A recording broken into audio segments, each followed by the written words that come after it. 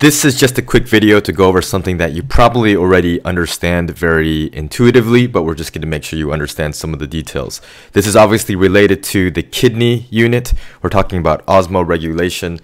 You all understand the story of Goldilocks. Remember the story of Goldilocks and the three pair three pairs. Oh my gosh, the three bears and she goes into the house and then she sees like a bed that's too hard, a bed that's too soft, and one that's just right. This is the concept of homeostasis, where your body can be too salty or not salty enough, and then you have to be able to regulate it. So that's what the kidney does to help you with some of this homeostasis regulation mechanism. So, for example, I think I've mentioned this several times in some of the other videos, but if you do a lot of exercise, you work out a lot, and you sweat quite a bit, you get really thirsty, and then when you go to try to pee, you find out that your pee is kind of concentrated, kind of dark, not very uh, watery, and has a particular pungency. I don't know if that's a word, but it's a fancy way of saying smells a little bit funky.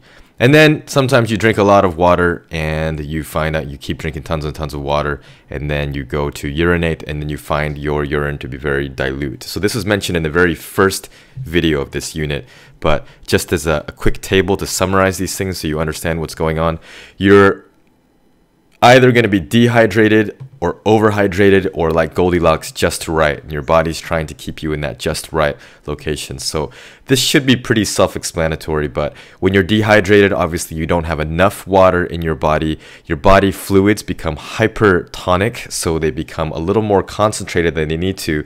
Your kidney then responds and uh, tries to reabsorb as much water as possible to save as much water so you're not going to be excreting lots of water. You still have to get rid of urea so you still will produce some pee but the water that goes out with that is going to be reduced in volume. So small volume of urine, uh, you're going to be thirsty and then dark darker urine basically. You're going to be kind of lethargic so low energy raised pulse and then lower blood pressure in extreme cases uh, brain damage seizure and death. So you know that this is something you understand. If you don't drink enough water you're going to die. It's also possible to overhydrate yourself. I don't know if this is a real story but i've been saying it quite a bit. I think it was. There was some competition called what is it? Called? Hold Your Wee for a Wii. It was around the time the Nintendo Wii came out, and there was some competition to see who could drink the most water without going to pee.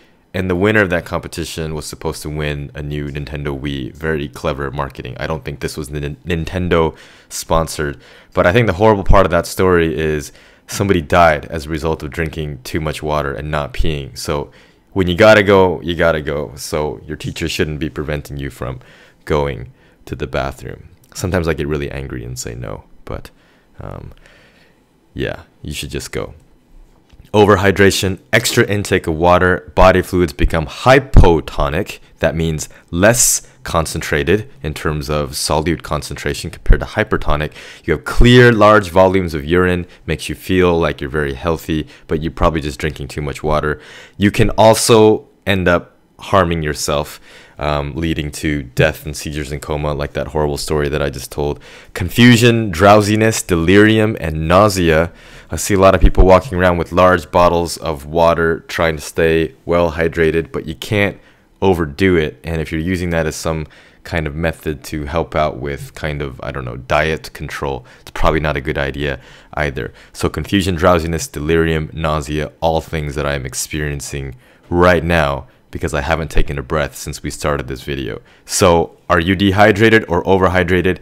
Do what Goldilocks would do and break into someone's house and try out all their beds and porridge and find the one that works just right for you.